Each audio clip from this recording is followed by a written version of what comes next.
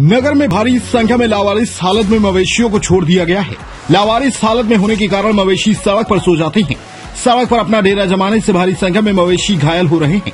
सड़क पर चलने वाले गाड़ियों के टक्कर से मवेशी गंभीर रूप से घायल हो जाते हैं। सही समय पर इलाज नहीं होने से मवेशियों की हालत गंभीर हो जाती है। नगर में ऐसे बीमार घायल मवेशियों का इलाज कामधेनु सेना की टीम घूम घूम कर पशु चिकित्सकों की मदद से कराया जा रहा है।